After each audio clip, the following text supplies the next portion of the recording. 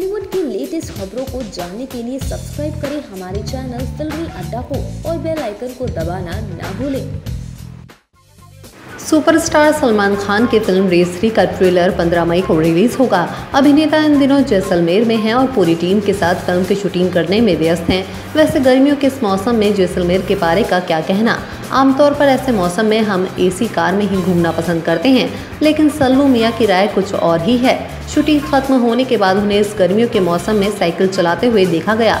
सलमान के fan club ने इसका वीडियो जारी किया है। जिसमें वो भारी सिक्योरिटी के बीच एक अन्य शख्स के साथ साइकिल से अपने होटल तक जाते नज़र आ रहे हैं। वैसे सलमान ने यहाँ सिर्फ़ साइकिल नहीं चलाई, उन्हें रेगिस्तान में एटीवी चलाते हुए भी देखा गया। बता दें कि रेस थ्री 2018 की ईद के मौके पर रिलीज़ होगी। इस फ़िल्म को मशहूर कोरियोग्राफर रेमो डिसूजा डायरेक्ट कर रहे हैं, जबकि प्रोड्यूसर रमेश तोरानी हैं। ये सलमान खान की इस साल की मोस्ट अवेटेड फ़िल्म है। न्यूज़ रूम से फिल्मी अड्डा की रिपोर्ट।